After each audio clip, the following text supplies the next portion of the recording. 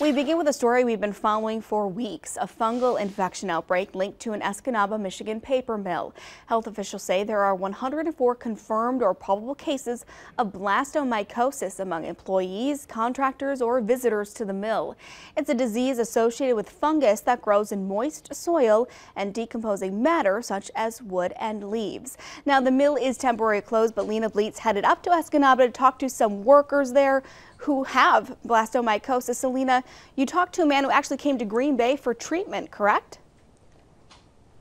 Yeah, thanks, Brittany. So I talked to Eric Phillips, a man who works at the mill. He's been working there for almost exactly a year, um, but he got sick back in February. He said actually that he felt like he was having a heart attack. And so he was at work. They called an ambulance. They started treating him for a heart attack when he was in the ambulance. But then after doing EKGs and other blood tests, they realized it wasn't his heart. And they did a CT scan where they saw um, a couple of masses. So he does have um, masses in his lungs still. Um, when they saw that and they kind of had an idea of maybe what it was, especially because there have been other cases, they went ahead and sent him down to Green Bay. So he spent 23 days in the hospital wow. in Green Bay, and a lot of those days were in isolation, which um, this guy definitely likes to be out and about walking around. So laying in a bed would have yeah. been hard for him. Tough, absolutely. So, you know, you said he's been there about a year. I know the investigation continues. There's that video kind of shows hazmat people, but does he have any idea how he got the fungus infection?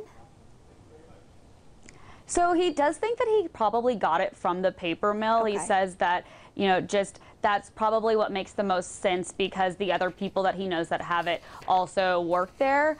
But he also said, you know, he's the only person in his department that got it. So, hmm. the, and he works outside a lot. There are other people that work inside. The mill is huge. We drove around it yesterday, and I mean, if something that could be contaminated in one spot could easily um, you know, miss other people. So having them shut it down and clean the entire thing is a big deal. And he thinks he probably got it there just because that's what makes the most mm -hmm. sense. But also living in that area, they do have cases up in okay. the UP with the, that kind of weather and all of the wooded areas. Absolutely. I know Wisconsin is one of those states that has higher cases of blastomycosis as well.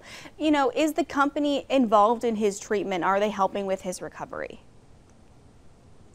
So Phillips is actually a military veteran. So the VA is paying for all of his expensive expenses. He said he's had a wonderful time actually with the VA and that St. Mary's Hospital in Green Bay helped him out a lot with filing that paperwork. But uh, the company is helping right now while they are closing down for at least three weeks. They're continuing to pay everyone in full. This is something that Phillips was really excited about, and he made sure to note how great he thinks it is that the company is doing that instead of you know laying everybody off because they're also going through some other changes um, that are unrelated to this. And so instead of doing that they're keeping everyone on. They're continuing to get paid. And while he, he has health insurance through the VA other people that have gotten sick with this their health insurance um, they likely did have health insurance through uh, the paper mill. All right Lena thanks for heading north for us with the story